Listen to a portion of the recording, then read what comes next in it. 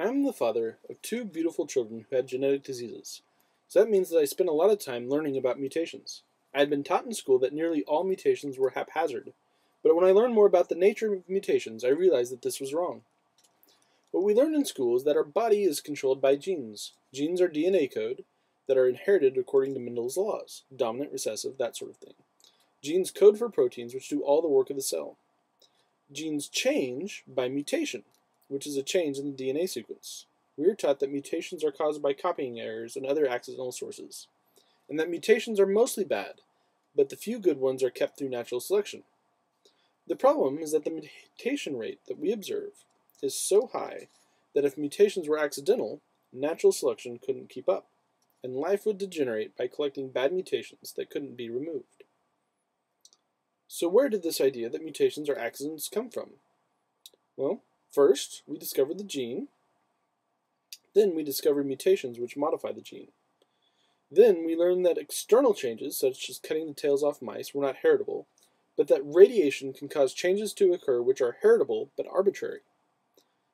Well, this all led to the random mutation hypothesis, which says that mutations do not occur with respect to the needs of the organism, but occur more or less haphazardly. This idea influenced several generations of biologists. This was all before the discovery of DNA. When we hit the DNA revolution, we learned what genes were made of. DNA is sequenced into genes which code for proteins. But we carried into the DNA revolution the idea that mutations were random. So when you combine these hypotheses, it led to the expectation that there would be a lot of evolutionary leftovers from accidental sequence changes. So it was thought that much of the DNA in your cell would be junk. So, when they later found repetitive DNA, mobile DNA, and pseudogenes, which looked like genes but didn't code for proteins, it was assumed that this was leftover junk from random mutations. But what we are learning now is a different story.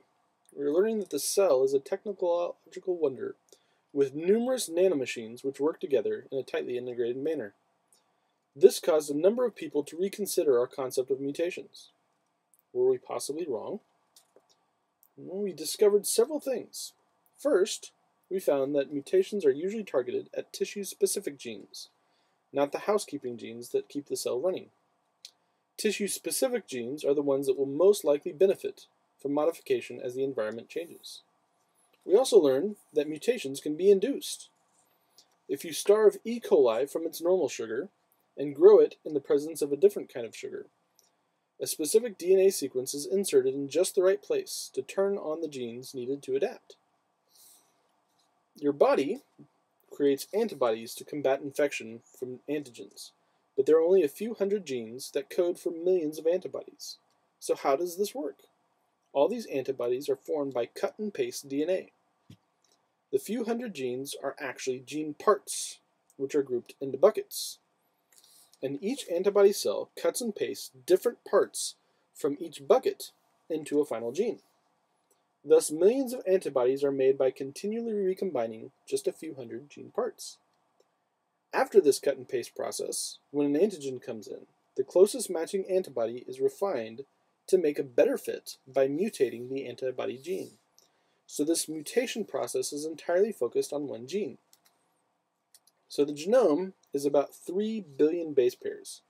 The antibody gene is only 1200 base pairs. All the mutations go to the antibody. Not only that, they go to the right part of the antibody. The mutations are focused on the part of the antibody that attaches to the antigen. Repetitive, repetitive DNA works like a tuning knob for cell functions and body structures. In dogs, a single repeat segment controls the amount of bend in its nose. Repetitive DNA mutates primarily by changing the length of the repeat, which adjusts the value of a parameter. Pseudogenes look like broken pieces of protein coding DNA. However, some pseudogenes can be used as templates to copy new functional modules into other genes. Bacteria use these modules to alter their surface proteins to evade detection. All this leads to the idea that mutations are often informationally directed, not haphazard. The cell is pre-coded with information which directs the mutation process towards useful mutations and away from harmful ones.